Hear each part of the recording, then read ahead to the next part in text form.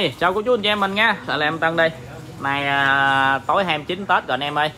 À, lên cho anh em con 75 inch siêu bự trà bá luôn anh em ơi. Đây nè.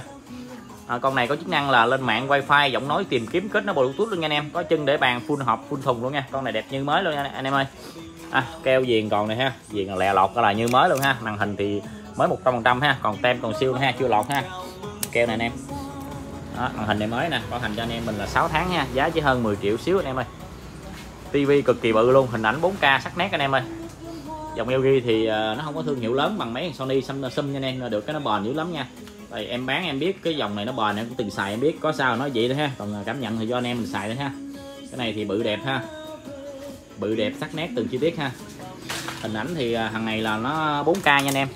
Cho nên hình ảnh đẹp, chất lượng hình ảnh là cực kỳ nét ha, từng chi tiết luôn ha à, màn mới mà anh em cứ xài yên tâm khỏi sợ màu mà nãy kia anh em ha bảo hành cho anh em mình 6 tháng trong vòng 6 tháng mà à, màu không đẹp hay có bất cứ lỗi lầm gì thì à, miễn phí cho anh em mình sửa chữa ha. Anh em khỏi lo nha.